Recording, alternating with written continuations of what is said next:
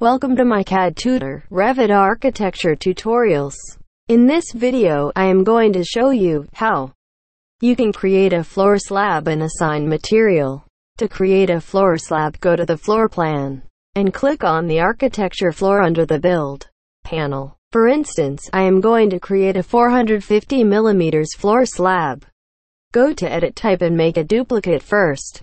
Then rename. Click on edit and change the thickness. Press OK to close the window, and go to Draw option in ribbon, such as Line option and draw the line.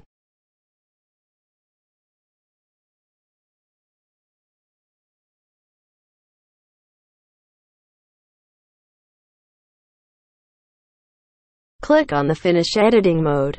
Go to the 3D view and you can see, here is the 450 mm floor slab. To assign the material on the slab, select the floor slab, go to Edit Type and then Edit. Click on the Browse Material option, as I am going to assign 600 by 600 mm tile. Press OK to close the window.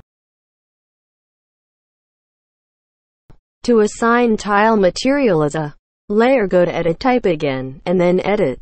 Use the Insert option to create a new layer and define the thickness 25 mm.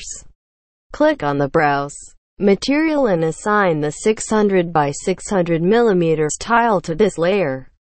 And create new material for floor slab 450 mm. And assign a color.